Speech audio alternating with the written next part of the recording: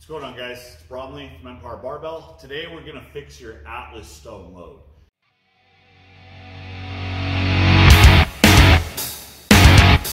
With Atlas stone loading, the most important thing isn't necessarily how strong you are. It's gonna be how practiced you are with the stones because it hinges on a very, very specific technique. When you're running through an Atlas stone loading series or you're doing an Atlas stone for reps or even an Atlas stone shoulder, your success is always gonna hinge on how efficient you are. This movement is big on technique because better technique means less energy wasted. It means you're gonna get it from point A to point B without struggling, without fighting, without ex uh, expending energy. So you're always gonna be in an event where either you're trying to do a very, very heavy weight or you're trying to do uh, lighter weight very, very fast where you're not wasting any time or energy, you're going quickly down the series or uh, something like a, a, stone for reps where you have to, in the face of fatigue, continue to perform and cycle through those stone loads without gassing out.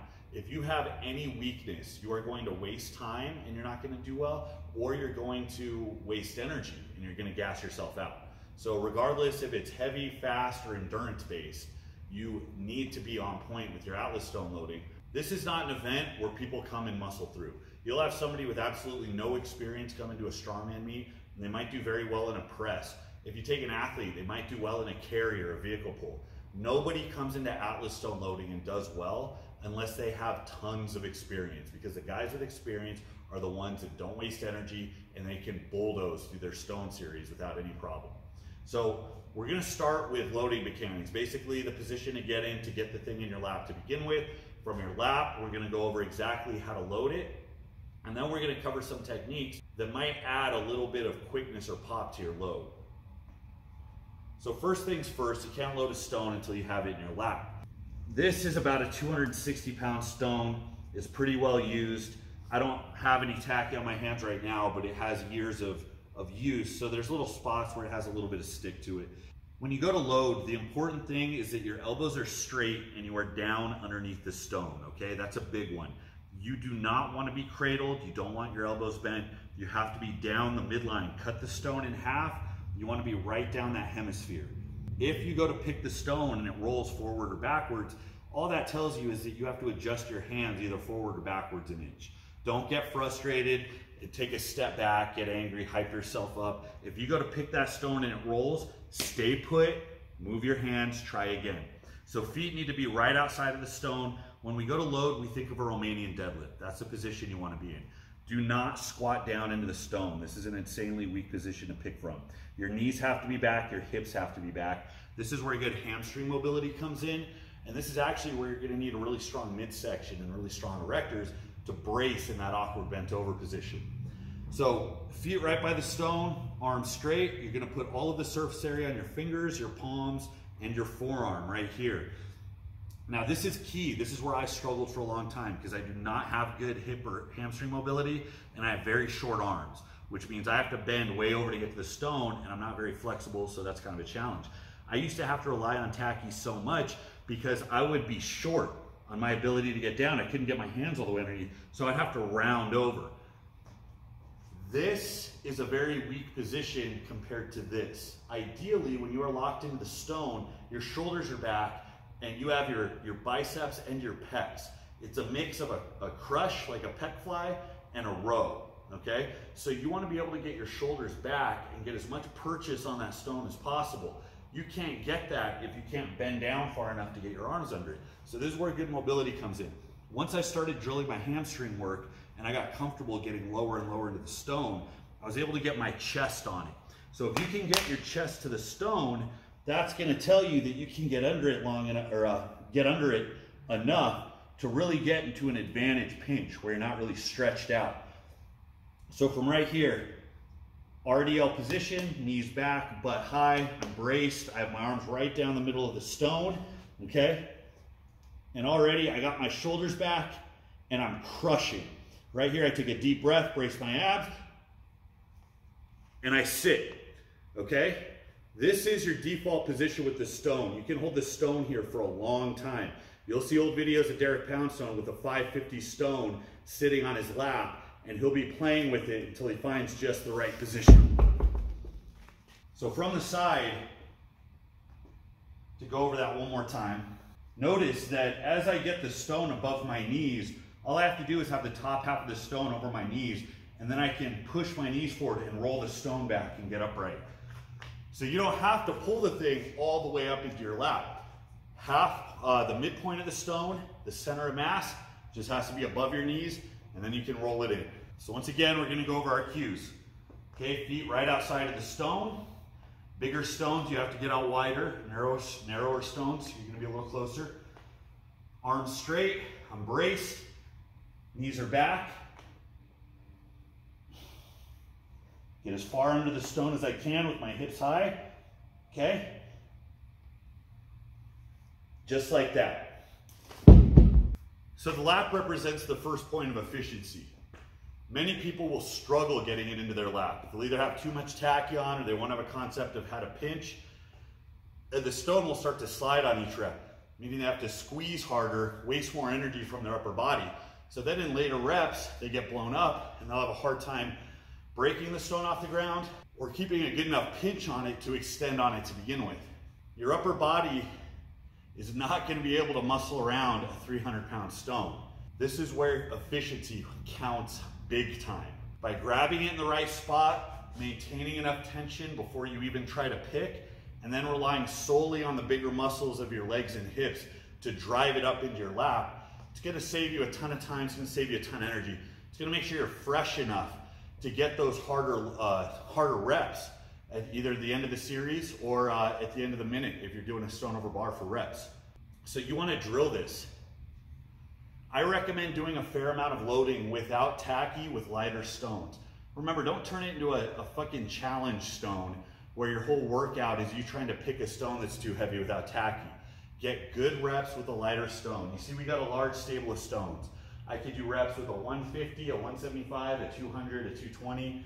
This is the 260. Just recently, I was able to do our 360 without tacky. That was a big victory for me, but that took a ton of time. That took, took a lot of slow building up over time.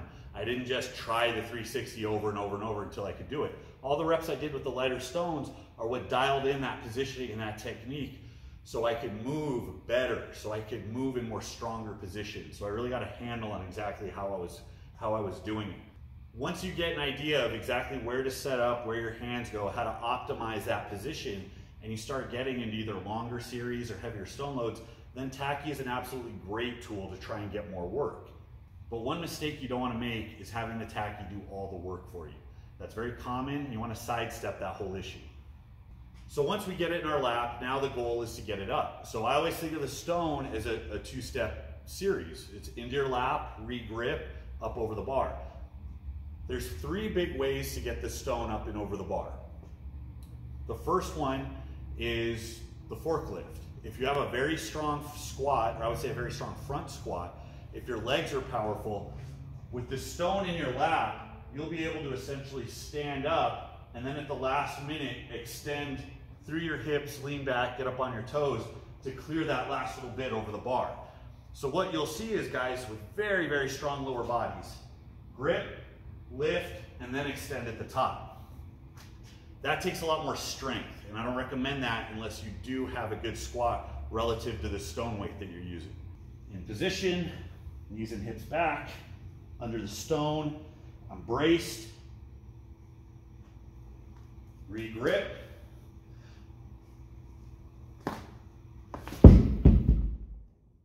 Now, one of the issues you're gonna run into is how tight of a grip you have on the stone when you go to stand up with it.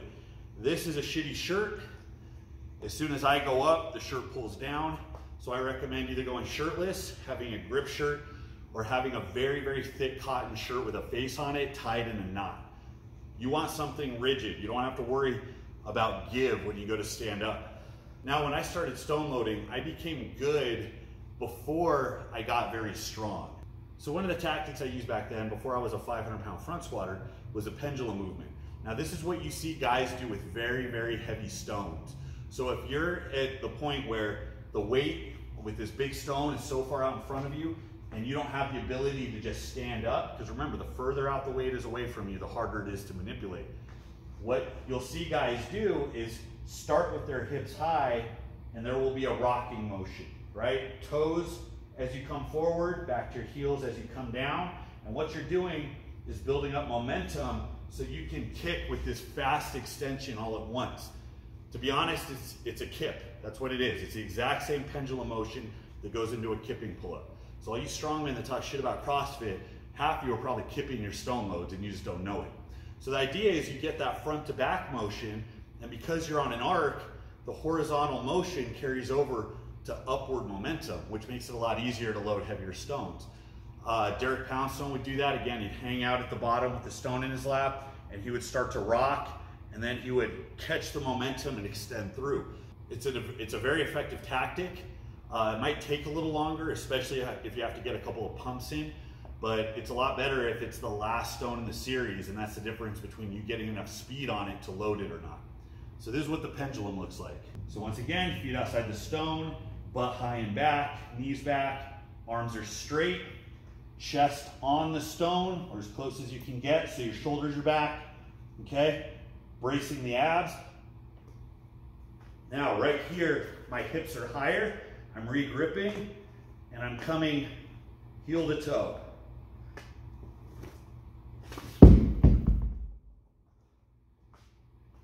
Ideally that happens a bit quicker. Again, grip issue, not the best shirt to load off of, but it looks good, right?